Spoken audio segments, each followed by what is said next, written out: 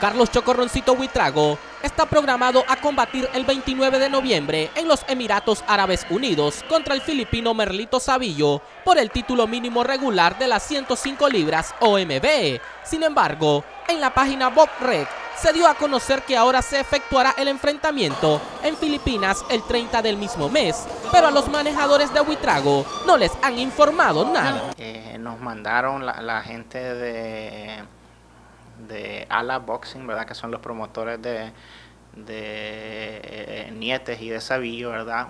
Un, contrato de pelea. Pues me mandaron un correo, me dice adjunto contrato de pelea, no venía sin un archivo. A un mes y siete días de la realización del combate, hasta la fecha no han llegado a un acuerdo en las bolsas que deben ganar ambos pugilistas. Eh, no, o sea, nosotros eh, tenemos nuestras aspiraciones, ¿verdad? Le, le, eh, le, dijimos cuáles eran. Ellos obviamente tiraron un, un precio un poco inferior, ¿verdad? Eh, sin embargo, si hay voluntad de las partes se puede llegar a un punto medio. Por otro lado, se confirmó la presencia de Winston Campo en el nocao a las drogas a realizarse el sábado en Costa Rica quien peleará con el venezolano Ismael Barroso. En cambio, el choque entre Carlos Ruedas y Manuel Vides no se hará. Eh, el muchacho Vides de Panamá es, considerado un buen prospecto.